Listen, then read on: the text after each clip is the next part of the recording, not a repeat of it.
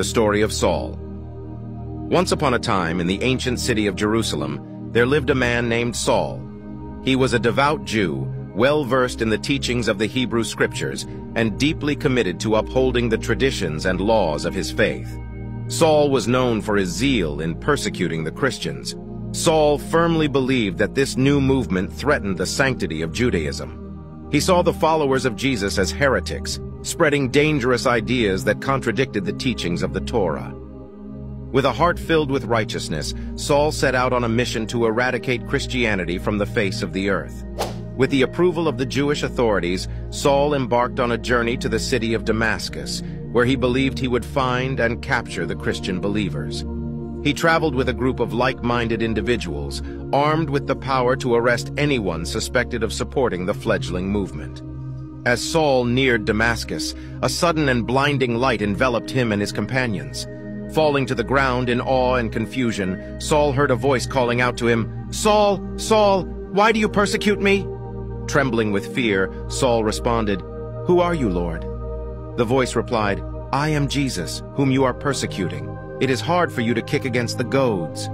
Trembling and astonished, Saul asked, What would you have me do, Lord?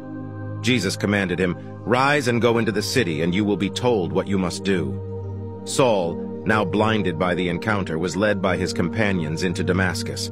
For three days he remained without sight, neither eating nor drinking, pondering the significance of the encounter.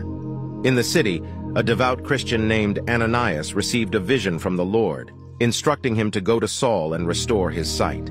Ananias, initially hesitant due to Saul's reputation, obediently went to the house where Saul was staying and laid his hands on him. Instantly, something like scales fell from Saul's eyes, and he could see again. Filled with gratitude and awe, Saul arose and was baptized, signifying his conversion to Christianity.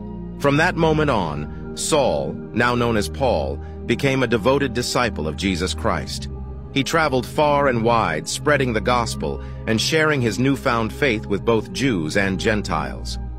Paul's deep understanding of Jewish teachings, combined with his unwavering commitment to Jesus, made him an influential figure in the early Christian church. Paul's transformation from a fierce persecutor to a fervent believer serves as a testament to the power of divine intervention and the possibility of redemption. His story reminds us that no one is beyond the reach of God's grace, and that even the most hardened hearts can be transformed by the love and mercy of Jesus Christ. That's the end of this episode. Follow for more.